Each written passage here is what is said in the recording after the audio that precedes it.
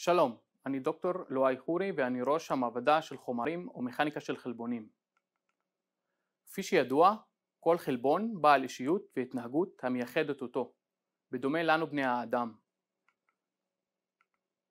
במחקר שלנו אנחנו לומדים את התכונות של כל חלבון וכמהנדסי חומרים אנו מנצלים כל תכונה בשביל לעצב או להנדס את הדור הבא של הביו-חומרים.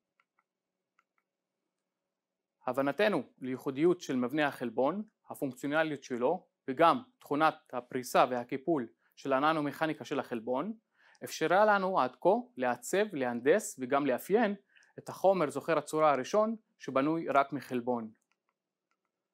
במעבדה שלנו סימנו לעצמנו מטרה לנצל כל חלבון על מנת לסלול את הדרך לפיתוח החומר החכם הבא. תודה רבה על ההקשבה ונשמח לראות אתכם במעבדה שלנו.